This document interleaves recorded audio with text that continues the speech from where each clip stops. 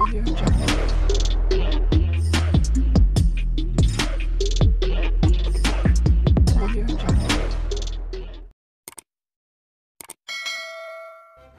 kasih kerana memilih channel ini.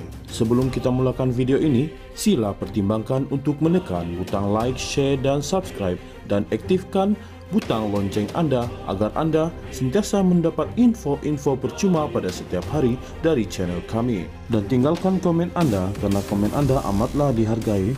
Terima kasih. Suruhan Jaya Pencegahan Rasuah Malaysia SPRM belum menghantar kertas siasatan berhubung kes Hakim Mahkamah Rayuan Nazlan Ghazali kepada Jabatan Peguam Negara.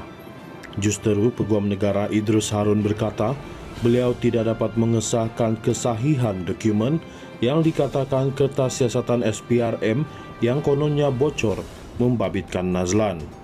Saya tidak tahu kertas siasatan SPRM belum ada dengan kita, katanya ketika ditanya berhubung kesahihan dokumen yang dikatakan bocor itu selepas menghadiri majlis simposium keluarga Malaysia.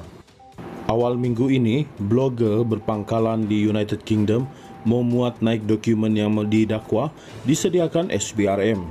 Dokumen berkenaan mencadangkan SPRM sudah menyelesaikan siasatan terhadap Nazlan dan menghantar laporan kepada Jabatan Peguam Negara.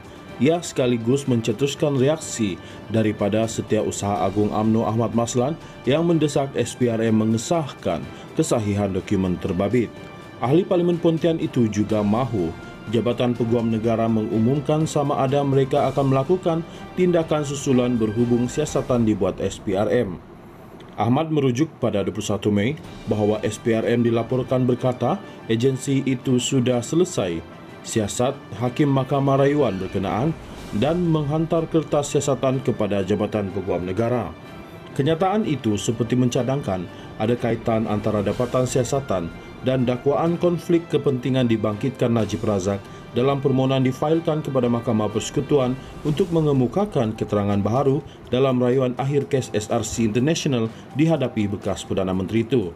Nazlan yang dilantik sebagai Hakim Mahkamah Rayuan pada Februari merupakan hakim yang mempengurusikan perbicaraan kes SRC Najib di Mahkamah Tinggi dan menjatuhi ahli Parlimen Pekan berkenaan 12 tahun penjara dan denda RM210 juta.